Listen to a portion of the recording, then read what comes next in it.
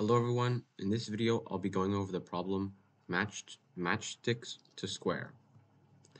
I'll be introducing the problem, explaining the solution, then talking about how you actually implement it.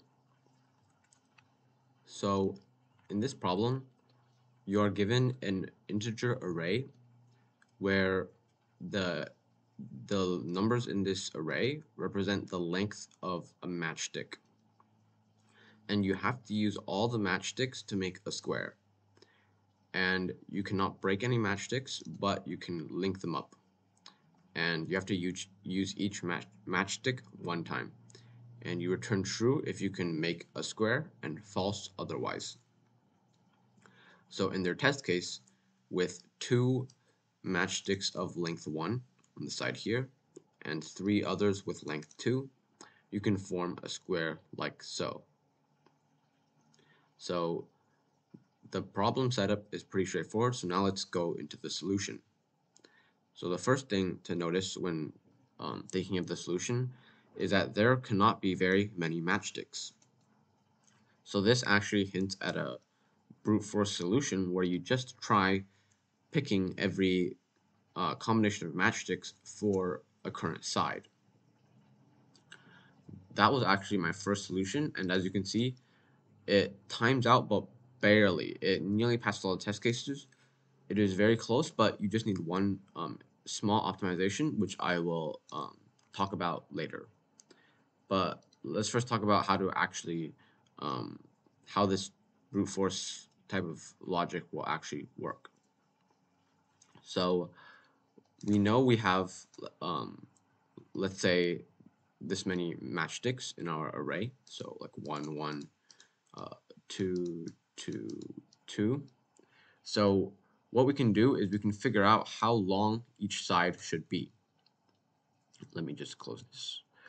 So if we sum up all the sides and divide it by 4, uh, so that would be 8. Then divide that by 4 because there's 4 sides. We know the length of each side should be 2. And of course, if the total length is not divisible, divisible by 4, you know you can just automatically return false. But if it is divisible by 4, we need to do a little more uh, work to figure out if we can make four side lengths, each of length 2.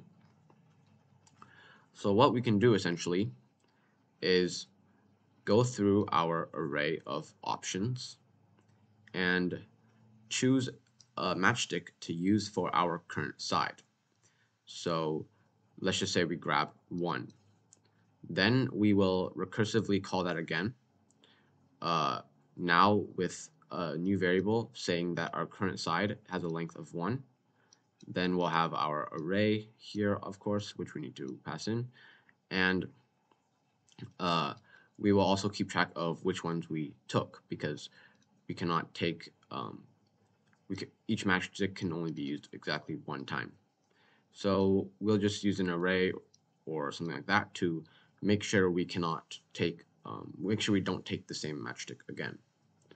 So in our next uh, iteration of this recursively, we'll have these to choose from. And of course, we'll just try picking um, like each of them and see what happens. So we'll try picking the first one. So that gives us another one. So we'll call this function again, but with um, our current side length of length 2. And in our next iteration, when we call it, we know that our current side has a length of 2. So we can um, essentially say, yep, we figured out we can make one side. Now in this um, in this path, like this exploration path, we can uh, say we are done calculating one side and we only have three more sides left to find. And so then eventually, if it's possible, we will have one path in this uh, sort of tree kind of um, DFS where we'll have no more sides to make because we've have will have made four sides all of length 2. So to give a better visual about what um, our recursive function would look like, with with this given array, let me just delete this. With this given array, we would have something that looks like this, where we choose uh, one and then we choose one again, and then we complete one side. And there's also the case where we choose one and then we choose uh, two because we'll choose two, and that that case we will just automatically re return false because we know that this side has a length of 3 and there's no way to make it shorter. So there's no way we can make four sides of length 2 if we go down this path where we combine a 1 and a 2. But we will search down this path and here no matter what choice you make it'll always be correct. So we'll make another side length of like 2 etc etc and we'll actually just find the answer right away and we, that means we found one uh, possibility that'll work. And once we find one possibility, we can just automatically return true. We don't need to work on finding any other possibilities. So um, this one is not actually that great of an example to uh, test out. Um, so I'll just kind of make up an example here. So let's say we have um, like some array that looks like, let me just think of some random numbers here. So let's just say we have like two, one, four, five, um, seven, three. Uh, those are some random numbers. Um, I don't even know if this is possible, but uh, what our um, function that will search if it's possible will essentially look like this. So let's just sum it all, all up first. So uh, 3, 6, 10, 22. Uh, let's just add another 2 here to make it divisible. So our sum will be 24 and we'll divide that by 4. So we know we're looking for side lengths of length 6. So now we'll just start picking numbers in a random order. So we'll pick like 2 and then uh, we'll pick 1 and then 4 and then we'll realize hey we if we pick 2 1 and 4 our side length will be greater than 6 so this does not lead to a valid uh, solution. Then we'll try picking um, 5, so 2, 1, 5. That doesn't work either, and um, I don't think any of the remaining options will work, so then it'll go 7, etc. But then instead of picking 1 as a second, it'll choose 2 and 4, and then it'll realize, wow, we've completed one side because we've made a one side length of length 6 and then what it will do is it will uh, then keep on going because it completed one side, but um, just have a variable keeping track of how many sides it has completed. So then it'll go from 2, 4, and then it will um, choose another random number, so 1. So now it'll know that the current side length is 1, and then it'll choose another random number, 5, complete another side, etc. So it'll essentially uh, what it's essentially doing is it's just permuting a random order of choosing these numbers. So let's just say with a smaller, let's just say there's only four numbers. So it'll permute a random order like uh, one, two, four, five, and then it'll go through and basically sum them up. So it'll be like, this will belong to the first side, this will belong to the first side, and then dot, dot, dot. Let's just say there's more numbers. Let's just say each side length will be three in this hypothetical example. So then you can realize, okay, so when selecting the matchsticks in this order, we'll complete one side right here, and then we'll um, try to find another side. So this essentially is an order of choosing matchsticks, and it'll be like, um, it'll essentially see if um, like this order, will it create uh, four sides that are of equal length at the end. So that's essentially the solution. So now let's look at how it's implemented. So um, first, we will just sum up all the the num the length of the matchsticks right here. And if it's not divisible by 4, we can just return false right away. And otherwise, we'll perform our search here. And this recursive function will obviously take in the array of matchsticks. Uh, the current sum, which represents the current length of our side that we're building. The target, which is the length of a side if we were to form a correct square. The number of sides we have left to form. And um, this is the small optimization I was talking about earlier, where we can use an index to help us uh, search through less possibilities. I'll explain uh, more details on that later. And we'll also initialize a Boolean array here, which represents the matchsticks we have already taken, so we won't take the same matchstick more than once. So now let's go into our recursive function and what it'll look like. So if we only have one side to make, we know we can automatically return true because if we have formed three side lengths that are the perfect square length, we know that because this total is divisible by 4, whatever other matchsticks we have left, however we arrange them, it'll be able to complete the final side length. So if we have one side to make left, we will uh, return true. And otherwise, if our current side is the ideal length, we will uh, keep on searching, but uh, for a new side. So this new side will have a length, start off as a length of 0 because we, we need to build that side up. Uh, subtract 1 from the number of sides we need to make, and set index back to 0 because index will represent essentially what numbers, what matchsticks we need to uh, look through that we can have a choice of picking. So uh, the reason why we want this index is because uh, when we want to build a new side, so let's just say we start off building one side of the square here, we'll of course want to start at the beginning of the matchstick and just try picking random combinations of the matchstick. But the thing is, um, this will help, uh, using an index will help us avoid double counting because if we choose this as one um, matchstick that'll make up our side, then we'll have, let's just say in our permutation, some other, some ordering where we choose 2 and then we choose 4. So we'll have a matchstick of length 2 here and a matchstick of length 4, which is making up one side.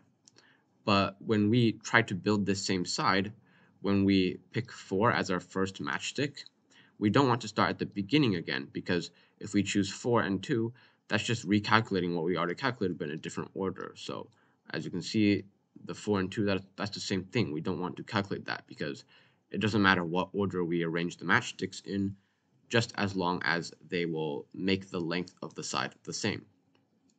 So when building up one side, we don't need to start at the beginning every time to uh, choose our matchsticks. Once we choose a matchstick, we know we only need to check um, choosing matchsticks that are later on in the array to complete our side. Uh, so if we uh, grab 4 as a matchstick, um, let's say to start off, we'll know that um, to try to complete this side length, we'll need to just uh, grab some matchsticks from uh, later on in the sequence, and we don't need to worry about using any matchsticks in front of it to uh, complete this side because we know we've already tried those possibilities. So uh, that, yeah, that's why when we start off choosing a new side, so when we initialize here, we know we still need to find four sides, and we're, we're starting to build up our side. Our current side length is, of course, zero, and we'll start at the very first um, matchstick that we have. And then whenever we want to, whenever we complete one side and are building a new side of the square, we will just reset that to start at index 0 because then our new side will have a different ordering um, that we can choose. So that's just a small optimization I did not implement earlier where um, I just started off at 0 every time, but then that's um, much more inefficient because you're double calculating these um, lengths here that you only need to calculate once. So um, Otherwise, if we're just continuing to build up our current side, which is this case right here, it's not one of these cases, then we will just go through starting from our index and check all the matchsticks. And if we can take that matchstick, um, so this is the flag of matchsticks that we have taken. So if we can take that, it's a false there. So if we can take that and uh, this matchstick might be a, might result in a way to make our current side equal to target. So of course, if our current side length is like um, this long and um, this current matchstick is far too long and we want to only make a side length this long, we don't need to uh, check it out. We can just cut it off like what we did here. So if this might be a possibility, then we will try uh, choosing it for our current side. So we will set that to true. We'll choose that. Then we will go down that path where we um, used that matchstick. So uh, let's just say we chose 2. We will go down that path where we chose 2 as our as a matchstick for building our um, current side. And then we'll pass these uh, regulars in. We will add, um, this will represent that we built up our current side a little bit longer. And we will increment our in index to uh, i plus 1 because we know we will only need to, if we choose 4, let's just say we will only need to look at the indexes after it to continue building our current side. So if going down this path uh, leads us to a valid solution, we can just return true and um, because we return true here, once we find one path, let's just say go down all the way here.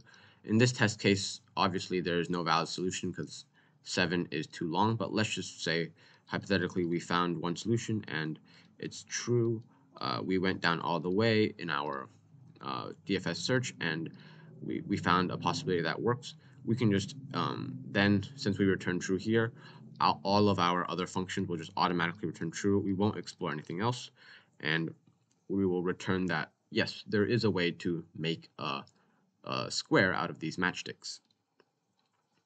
And then um, after we explore the possibility of using this matchstick for our current side, uh, which is this um, recursive function here, we will just uh, set that to false because um, then we will want to represent that we haven't taken it for our current matchstick. So um, when we explore down this path where we use 2 as um, one other matchstick in our current side, uh, we will uh, first set that to true because we're using 2, but then once we go all the way out, uh, we will set that to false because then we're not using this current matchstick. So yeah, so in, in summary, this essentially, what this essentially does in English is if this matchstick might work, let's take it, explore what happens if we take it, then we put it back and try taking another one that, that we haven't taken in case taking this one um, doesn't work. And so of course, if we've um, done that for all the possible arrangements of matchsticks, we will we know there is no answer we'll just return false.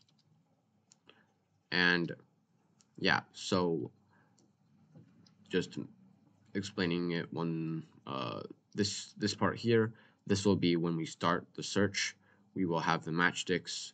All of our um, matchsticks will be available to take because all of them are false. We haven't taken any matchsticks yet. Uh, our current side length is zero We'll start at the first element, the first matchstick. We have four sides to make, and our target length is um, the total length divided by 4. So yeah, I'll just submit this to prove that it works. And yeah, so this solution works just because we have this little optimization here where we start at this index and we avoid calculating these um, duplicate permutations. So yeah, that's about it for this video. Um, the solution for matchsticks to square. I hope you guys enjoyed and thank you very much for watching.